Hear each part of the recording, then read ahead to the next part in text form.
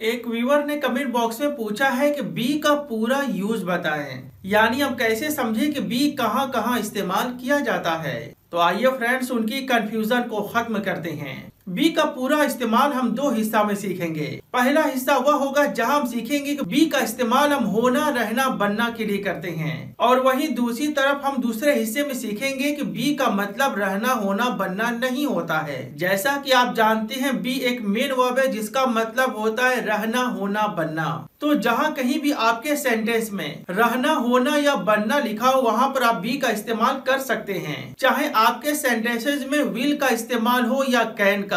मे का इस्तेमाल हो या माइट का वुड का इस्तेमाल हो या सुड का।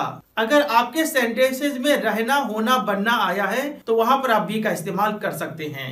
कैसे कर सकते हैं? आइए इस बात को एग्जाम्पल्स में एक एक करके समझें। आइए सबसे पहले विल का कंसेप्ट समझें। फ्यूचर वाले सेंटेंसेज यानी गागी वाले सेंटेंसेज में कई बार हम बी का इस्तेमाल करते हैं और कई बार हम बी का इस्तेमाल नहीं करते हैं। तो इसे समझने का सबसे आसान तरीका है, अगर आपके सेंटेंस में रहना, होना, बनना हो तो आप बी का इस्तेमाल करें। और अगर आपके सेंटेंस में रहना, होना या बनना नहीं लिखा है तो आप बी का इस्तेमाल न करें। जैसे, मैं आऊँगा, इस सेंटेंस के लिए आप कहेंगे आई विल कम यहाँ मेरे सेंटेंस में रहना, होना, बनना नहीं लिखा है। इसलिए मैंने विल के बाद बी का इस्तेमाल नहीं किया। लेकिन अगर आपको कहना हो मैं खुश रहूँगा। तो इस सेंटेंस के लिए आप कहेंगे आई विल बी हैप्पी यहाँ आप देख सकते हैं, मेरे सेंटेंस में विल के बाद आया बी क्योंकि मेरे सेंटेंस में आया रहना, यानी रहूँगा। अगर आपको कहना हो, वह एग्ज़ाम पास करेगी तो इस सेंटेंस के लिए आप कहेंगे she will pass the examination यहाँ आप देख सकते हैं, आपके सेंटेंस में विल के बाद बी का इस्तेमाल नहीं किया गया है,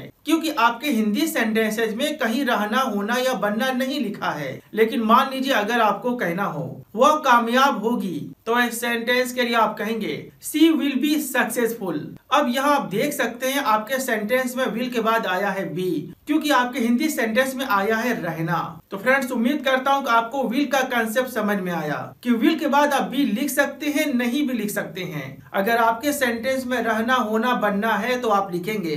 अगर आपके सेंटेंस में रहना, होना, बनना नहीं लिखा है तो आप बी का इस्तेमाल न करें। अगर हम बात शुड की करें तो शुड वाले सेंटेंस में आप बी का इस्तेमाल कर सकते हैं और नहीं भी कर सकते हैं। रूल वही है कि अगर आपके हिंदी सेंटेंस में रहना बनना होना आया है तो आप करें। अगर आपके सेंटेंस में रहना होना बनना नहीं है तो आप न करें। जैसे, आपको वहाँ जाना चाहिए तो इस सेंटेंस के लिए आप कहेंगे यू शुड गो देर यहाँ आपके सेंटेंस में शुड के बाद बी का इस्तेमाल नहीं है, क्योंकि आपके हिंदी सेंटेंस में कहीं रहना होना बनना नहीं लिखा है। लेकिन अगर आपको कहना पड़े, आपको ईमानदार होना चाहिए तो इस सेंटेंस के लिए आप कहेंगे यू शुड बी ऑनेस्ट अब यहाँ आप देख सकते हैं कि आपके सेंटेंस में शुड के बाद आया है बी क्योंकि यहाँ आपके हिंदी सेंटेंस में आया है होना। अगर आपको कहना हो आपको इंग्लिश सीखना चाहिए। तो इस सेंटेंस के लिए आप कहेंगे यू शुड लर्न इंग्लिश यहाँ आपके सेंटेंस में शुड के बाद भी का इस्तेमाल नहीं हुआ है। लेकिन अगर कोई आपसे कहे, आपको मेहनती होना चाहिए तो इस सेंटेंस के लिए आप कहेंगे यू शुड बी लेबोरियस यानी आपको मेहनती होना चाहिए। जैसा कि आप देख सकते हैं, इस सेंटेंस में शुड के बाद बी का इस्तेमाल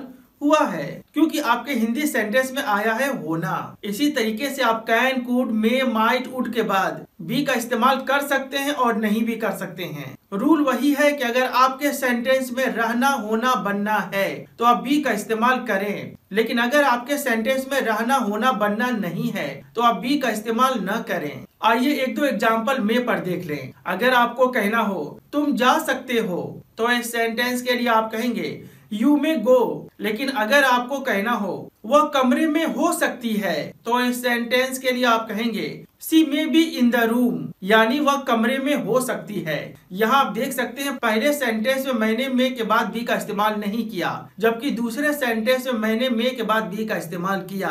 ऐसा इसलिए क्योंकि पहले सेंटेंस में कहीं भी रहना, होना, बनना नहीं लिखा है, जबकि दूसरे सेंटेंस में आया है, होना। इसलिए मैंने बी का इस्तेमाल किया।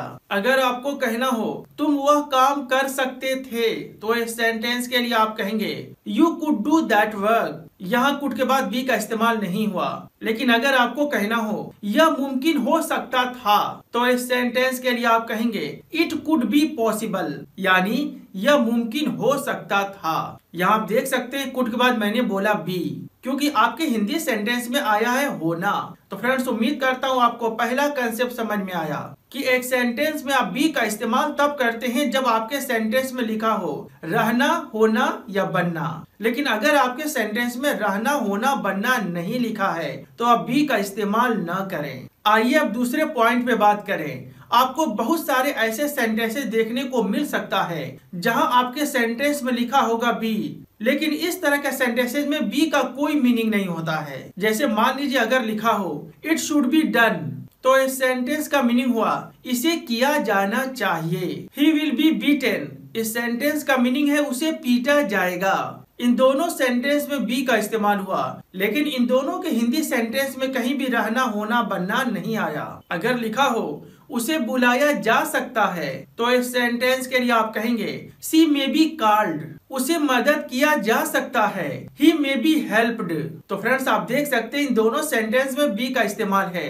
लेकिन हिंदी सेंटेंस में कहीं भी रहना, होना, बनना नहीं आया है। ऐसा क्यों? तो फ्रेंड्स यहाँ पर मैं आपको एक बात बताऊँ। अगर आप वो बात याद रखेंगे तो आपको कंफ्यूजन नहीं होगी। अगर किसी वर्ब के थर्ड फॉर्म के पहले बी लिखा है तो आपको ये समझ लेना चाहिए कि आमतौर पर ऐसे बी का कोई मीनिंग नहीं होता। और इस तरह के सेंटेंसेस को हम पैसिव वॉइस कहते हैं। यानी पैसिव के सेंटेंसेस में थर्ड फॉर्म के पहले आए बी का कोई मीनिंग नहीं होता, जिसे याद रखने का यही तरीका सबसे अच्छा है कि अगर वर्ब के थर्ड फॉर्म के पहले आपको बी नज़र आए तो फिर आपको समझ लेना चाहिए यहाँ बी का कोई मीनिंग नहीं है। ये भी सिर्फ़ रूल के तहत आ रहा है। यहाँ इसका मीनिंग रहना, होना, बनना नहीं है। तो फ्रेंड्स आप यहाँ देख सकते हैं इन सभी सेंटेंसेज में बी थर्ड फॉर्म के पहले आया है। इसीलिए इन सभी सेंटेंसेज में बी का कोई मीनिंग नहीं है। तो फ्रेंड्स उम्मीद करता हूँ ये टॉपिक आपको शानदार तरीके से समझ में आया। अगर आपके पास भी कोई क्वेश्चन है तो आप कमेंट बॉक्स में टाइप करें, मैं जल्द आपके क्वेश्चन पर वीडियो बनाऊँगा। फिर मिलेंगे कुछ और अच्छा लेसन के साथ। अब तक के लिए बाय